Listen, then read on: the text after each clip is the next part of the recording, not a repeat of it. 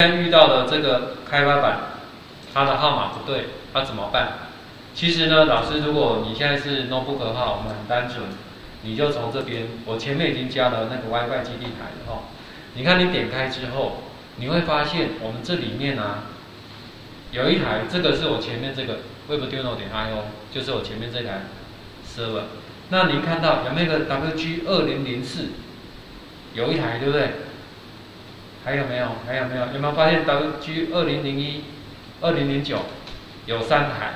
那我们的这个部分要回归到我们，呃，应该九月八号那那个简报，在这里我有提到这一块，就是设定这里，呃，简那个简报老师，我要看您在我的今天简报的第一页下面这里。有没有看到？简报第一页的下面就会有连到那边的。好，有了哈，有找到了。好，你打开之后，在简报的第十页那里，好，就是九月八号的简报的第十页。它如果的官方来的时候，预设都是什么？叫做 Smart。每一个开发都叫 smart，所以这样我们就会比较难控制。这样老师了解了吗？那我现在请老师您先把所有的开发板电先拿掉。对，因为这样子我们要判断会比较好判断说我现在是哪一台上线了。因为我们现在等于说大家都是跟疫苗一样，有没有？我们要解盲嘛。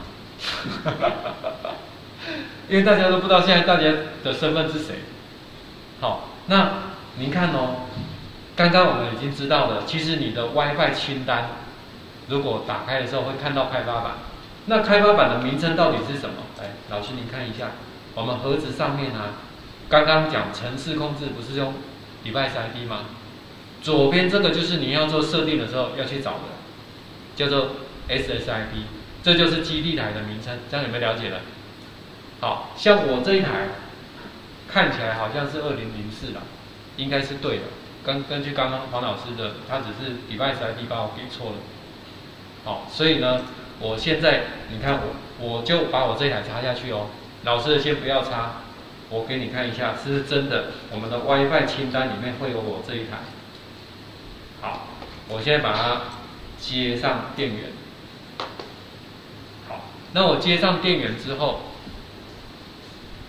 从这边来，你看这里有没有多一台二零零四？那因为它有接到我的那个无线基地台，所以后面有没有发现多一个 IP 位置？好，如果你有接上去，我们待会要怎么连进去？来，你看一下。您如果已经有接上去了，我就直接打 IP 位置就好了，就是在这边直接打那个 IP 位置。就可以连进去里面。好，来我们试看看哦。你看我点下去，好找到它。我现在连进去，对不对？我可以直接连线。然后密码大家都一样，一二三四五六七八，三四五六七八。好，下一步。那要不要搜寻？这都没关系哈。好，等于说你要透过您的 WiFi 连到这一台。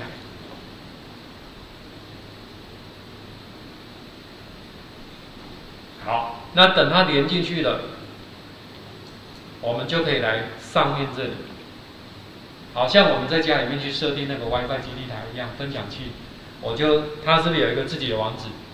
它比较常见的是一九二点一六八，什么点零点一啊，或点一点一百啊之类的。那 Webduino 本身的是点四点一，点四点一哈，所以我可以这样子，你看，因为我已经先透过 WiFi。连到它里面去了嘛？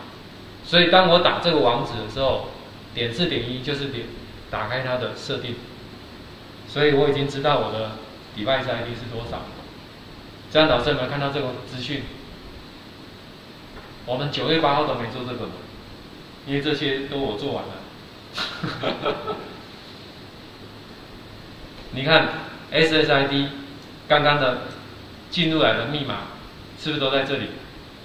都在这边，所以上面这个就是我的这个号码，这样您了解了哈。所以我把这个复制起来，您看，我放到这边，有没有感觉变绿色的？是不一样？这样老师会不会找那个设备了？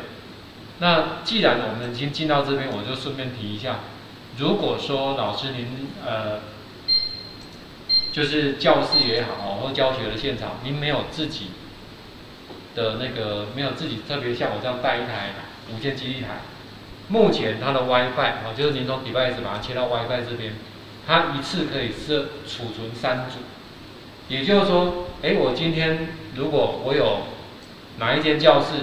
我可能不一样教室上课的时候，我有至少我可以储存三间教室。那他第一台找不到，他就去找第二台；第二台找不到就找第三台。如果三台都没有，他就会找我们刚刚那台预设的。好，我们预设的就是这个，来，预设的就是这里有一台 Webuno 点 io，密码就是。对对对对对，就是如果你的基地台名称设成这个，然后密码也一样的话，那它就会自动连到这一台，这样你开发版都不用再做设定，这样是最理想状态啦。因为我设定一台总比设定三十台，像我现在有六十台，我总比设定六十台容易，比较省时间。好，所以通常我大部分会用它的预设值这样子。当然，老师如果你用手机也可以。只是手机的限制就是最多五台嘛，我们一般在手机 WiFi 热点的话，最多就是五个装置连线而已，所以你超过就不能用。这样有没有看到老师自己的 device ID 的？可以，好，所以我们的状况排除任务成功。